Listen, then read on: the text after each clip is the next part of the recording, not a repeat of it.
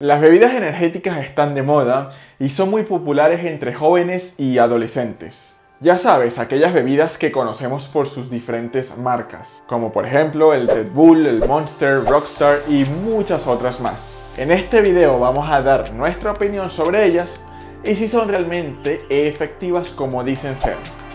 Vamos a empezar. Las bebidas energéticas se consumen porque nos ayudan a mantenernos despiertos y con más energía para estudiar, hacer deporte o salir de fiesta. Muchos las prefieren antes que el café, por su sabor o porque las consideran más saludables. ¿Pero realmente son sanas? Hmm. Lo primero que tenemos que entender es que las bebidas energéticas no son sanas. A ver, sé que es difícil de creer porque los ingredientes individuales de estas bebidas parecen ser saludables, buenísimos. Entre los ingredientes principales tenemos a la cafeína, también está el guaraná, aminoácidos como la taurina, el ginseng, la carnitina, vitaminas del grupo B y azúcar, que por cierto, todos sabemos que no es sana. Como puedes ver, los fabricantes agregan componentes supuestamente nutritivos para hacértelas comprar. Y te dicen cosas como que te van a ayudar a que tengas mucha resistencia y energía. Vas a mejorar el rendimiento cognitivo. Te ayudan a evitar el envejecimiento prematuro. Estimula el apetito sexual y muchas cosas más. Realmente todo esto suena muy bien, pero la gran mayoría de estas afirmaciones carecen de evidencia científica o no son del todo ciertas. Todas excepto por la cafeína y su efecto estimulante que ya todos sabemos. Es decir, el hecho de que se le agreguen componentes sintéticos supuestamente nutritivos no hacen que estas bebidas sean saludables. Vamos a ver más a fondo los problemas de las bebidas energéticas. El primer problema de estas bebidas es el evidente exceso de cafeína. La cantidad segura de cafeína está alrededor de los 400 miligramos diarios, pero algunas de las bebidas energéticas contienen hasta 300 miligramos de cafeína por botella. Es casi el doble de la cantidad que contiene una taza de café.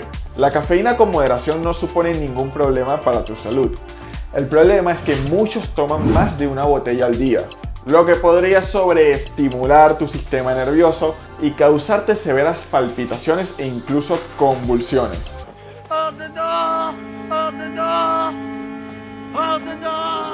El otro gran problema de estas bebidas es que se combinan con el alcohol. La guaranina, que es como la cafeína del guaraná, reduce la sensación de embriaguez, es decir, evita que sientas por completo los efectos del alcohol. Y te preguntarás, ¿Qué tiene de malo esto? Pues esto te puede llevar a tomar más alcohol. ¿Por qué? Porque no te sientes borracho.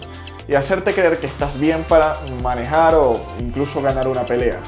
Bueno, no creo que sea muy buena idea. El tercer problema es que estas bebidas pueden causarte adicción, puesto que la cafeína ya de por sí es adictiva y porque, como dijimos antes, los fabricantes te hacen creer que sus componentes individuales son sanos. A esto se le llama nutricionismo. Cuando creemos que productos como el Nesquik o las sucaritas son sanos, porque son fortificados con vitaminas y minerales. Realmente la fortificación y el marketing son grandes amigos, pero no te dejes engañar. Si quieres saber más sobre este concepto llamado nutricionismo, en mi Instagram personal dediqué un post donde hablo sobre ello. Por último, a estas bebidas se les suelen añadir vitaminas y minerales de manera sintética. Vitaminas como la B6, niacina y ácido fólico son beneficiosas, pero tomar una megadosis no supone una ventaja, sino lo contrario. ¿Y por qué digo esto? La evidencia científica demuestra que la mayoría de los efectos adversos por exposición tóxica a suplementos están causados por los productos energéticos. Escuchaste bien, los excesos de vitaminas pueden causarte náuseas, arritmias cardíacas e incluso convulsiones.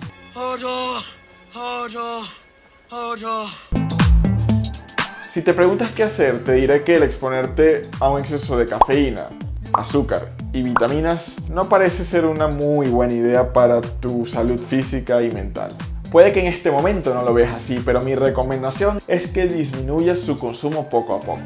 Y si necesitas algo para mantenerte alerta, toma café, le puedes agregar un poco de aceite de coco. También puedes realizar sesiones de power yoga o incluso ejercicios de respiración te mantendrán con más energía durante todo el día. Muchas gracias por ver el video. Coméntanos qué piensas.